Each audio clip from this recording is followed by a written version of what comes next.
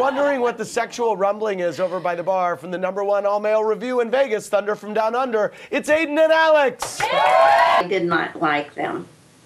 That started it off. Serving up all beef patties and special sauce. Their shirts are off. It's like a gay bar there. Not that there's anything wrong with it, but but it just I I didn't like it. Aiden and Alex want glitter. They must have told them to dress like that. I just wrote all over them during the break. Sorry, I wrote Andy is my boo on Alex. I wasn't thrilled with the drawing on the chests. When you cut your hair, it's going to be white hot. They could have been in Men Magazine, if there is such a thing. And there probably is.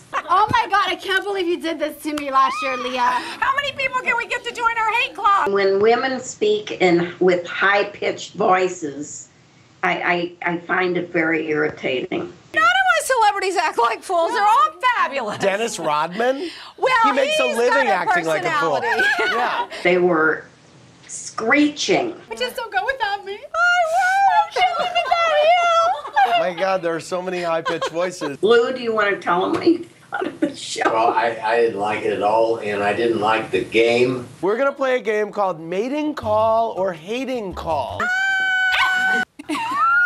Real. I'm always happy. I found those women, they were all talking at the same time. It was irritating to me. We've never We had love a each crossword. other. We love each We love other. each other. Mwah. It wasn't my cup of tea.